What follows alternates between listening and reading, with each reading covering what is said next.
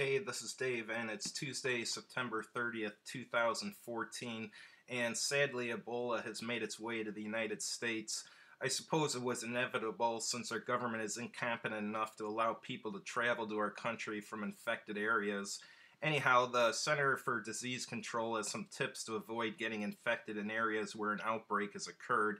It's on their website and it's very brief, but let's do a brief overview. The first uh, recommendation is to wash your hands frequently or use an alcohol based hand sanitizer. In addition to that, I think you should probably wear rubber gloves if you're in uh, one of these areas. Uh, the, their second recommendation is avoid contact with blood and bodily fluids of any person, particularly someone who is sick. Uh, this also includes saliva, so and, and sweat too. So be careful who you shake hands with, because if they got sweaty hands and they're sick, you may get sick too. Uh, the third thing is do not handle items that may have come into contact with an infected person's blood or bodily fluids. Um, that shouldn't be much of a problem. Uh, fourth one, do not touch the body of someone who has died from Ebola. We're Americans, we don't touch dead bodies to begin with.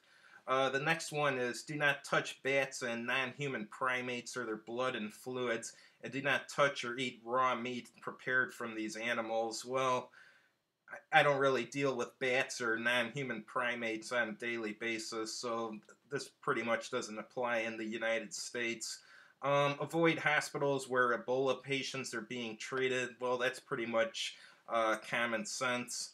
Uh, seek medical care immediately if you develop a fever greater than 101.5 degrees Fahrenheit and any of the other following symptoms present themselves uh, headache, muscle pain, diarrhea, vomiting, stomach pain, or unexplained bruising or bleeding. Uh, I personally think everyone now should just go out and get some rubber gloves and a surgical mask just in case something uh, this gets really out of hands, just so you're prepared.